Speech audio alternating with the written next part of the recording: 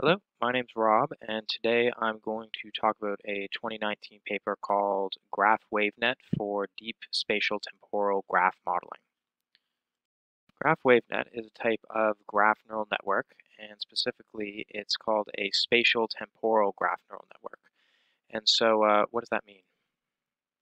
In the most general sense, graph neural networks are concerned with the same kinds of problems as traditional neural networks and convolutional neural networks, in that they take in some sort of input and they use that input to produce a prediction or a classification.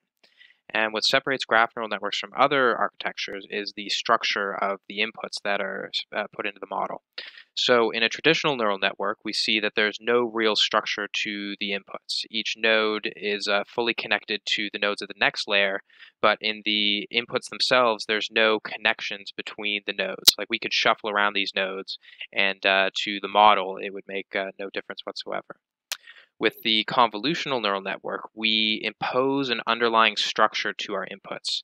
And so that structure tells our model about the spatial relationships between our nodes in Euclidean space. And um, so, for example, this node here is now aware that these nodes are next to it. And we leverage this information to do things like apply convolution filters to groups of pixels that are close together. And this allows us to extract spatial features that our traditional neural network just was unable to identify because it had no concept of the spatial relationships between the, uh, the nodes. And then finally, in, uh, in a graph neural network, we're allowed to impose any sort of arbitrary structure that we want onto our nodes. Graph neural networks aim to leverage complex relationships in the same way as convolutional neural networks leverage distance in Euclidean space. We notice then that convolutional neural networks are, is just a special case of a graph neural network with a specific type of uh, relationship between nodes. And traditional neural networks are also special cases of a, a graph neural network where there just aren't any connections between the nodes. We define a graph using a set of nodes and edges, a weighted adjacency matrix, which describes the relationships between nodes, and a set of node features, which describe the individual node properties. A typical problem that we would be concerned with is using some known input information to predict some unknown node features. And in the case of a spatial temporal graph, we are also given node features from previous time steps and typically asked to predict node features at future time steps given this information. So here's an example. We have a set of speed sensors that are set up along major roads in a city, and our goal is to use the speed sensor data from the past to predict traffic speed in the near future. Modeling this problem as a GNN, we have a node for each sensor and edges representing the roads that connect sensors. And we have an adjacency matrix that contains the Euclidean distances between any two sensors on the map. And our node features are simply the speed and velocity readings from the sensors at any given time. And note here that the only thing that changes with time is the node features, and this makes sense because the distance between sensors is static. This is actually the problem that Graph WaveNet attempts to solve in this paper, and the input described previously is the exact input that is used by the model. So let's dive into how Graph WaveNet actually works in practice. Here is a bird's eye view of the entire Graph WaveNet model, and this will look pretty familiar if you have some experience with the original WaveNet model, and otherwise it will probably not make much sense at all. Again, here's what a single input looks like for our model. We have a set of nodes and edges, an adjacency matrix, and a set of time series data for our node features. During the first phase of the model, we're only concerned with capturing temporal dependencies, so we're only really going to be working with our time series data. And from this point on, we will consider this time series data as just an n by s by d tensor, where n is the number of nodes, s is the number of time steps, and d is the number of node features, which in our case is 2, speed and velocity. But uh, the model is built to handle any uh, value for d. I also want to note here that even though I've made everything look pretty small, there are likely hundreds of nodes in our model and tens of thousands of time steps. So we're not actually into the model yet. Uh, this little part down here is a pre-processing step. The first part of the model is going to look for temporal dependencies using an approach called one-dimensional dilated causal convolutions. And this pre-processing step is just to get the data in a form that's ready for that. So what's shown here is a typical one-dimensional convolution filter going over a single channel with a three-dimensional filter. Note that we are only moving across the time dimension and that each time produces a single output. Also, I just want to note that I've shown the output as a little node, but each one of these nodes is actually another n-dimensional vector. There are a couple of problems with this for our model. First, notice that uh, each time step convolves over one step in the past and one in the future. Because the whole point of our model is to predict future time steps, we obviously don't have the luxury of looking one time step into the future. To fix this, we use a causal convolution filter, which only looks at past elements. A second problem is that because our filter extends back two time steps, our output is two elements shorter than our input.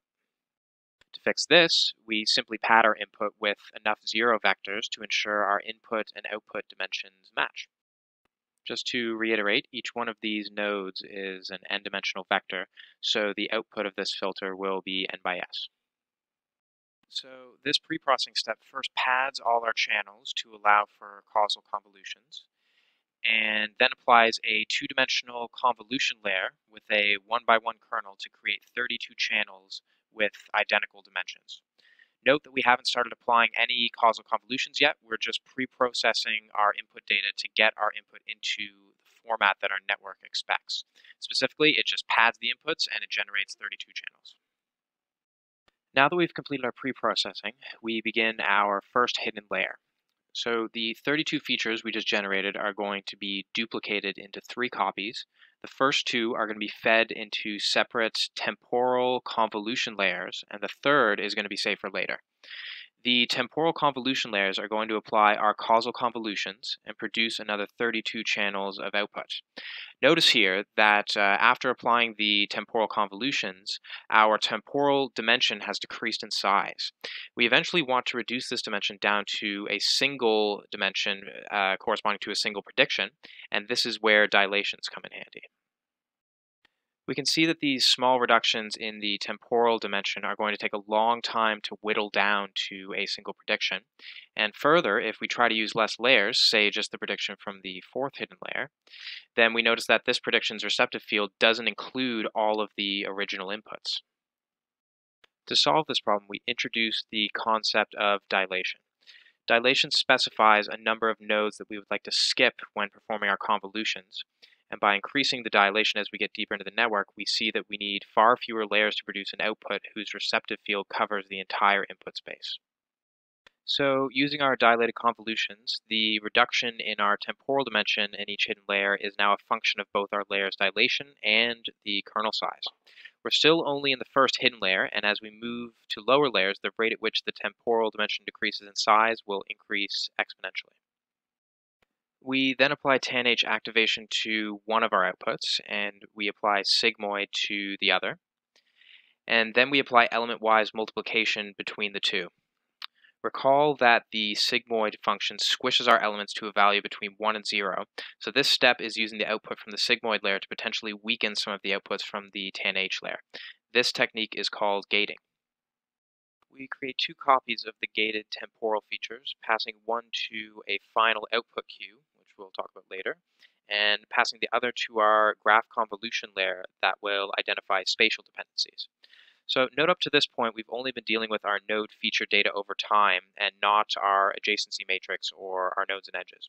This is just the structure of the model. First, we extract temporal features at each of our time steps, and we now iterate through each time step individually to discover spatial features. Notice here that when finding these spatial features, the GCN is not going to change the dimensions of our data at all. It's just going to apply a transformation. This transformation is called diffusion convolution.